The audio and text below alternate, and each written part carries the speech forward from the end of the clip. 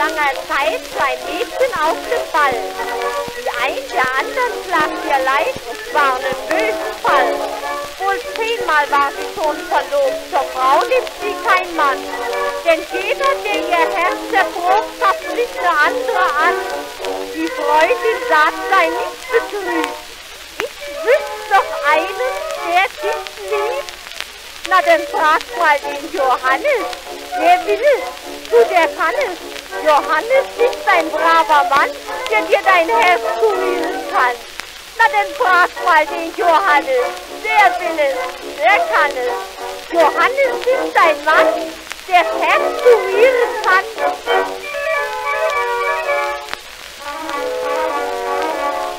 Für seinen Haushalt hat er feste Köchin engagiert, weil er auch wohl, es ist nicht schlecht, ein wenig gern charmiert.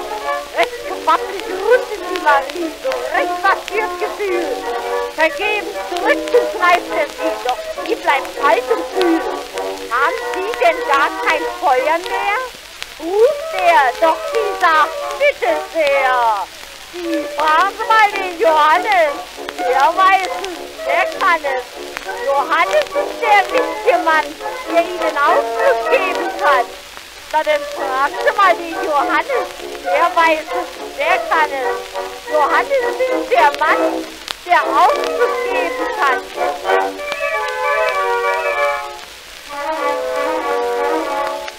Zwei Schwestern trafen sich jüngst mal, die weit verheiratet sind. Die ältere hat sechs an der Zahl, die jüngere nicht ein Kind. Drum hat die jüngere sie gefragt, was man da tun müsse.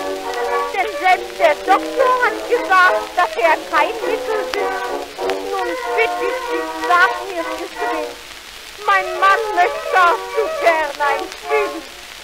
Na, dann frag mal den Johannes, der weiß es, der kann es. Johannes ist ein braver Mann, der dir vielleicht verraten kann. Na, dann frag mal den Johannes, der weiß es, der kann es. Johannes ist ein Mann, der dir verraten kann.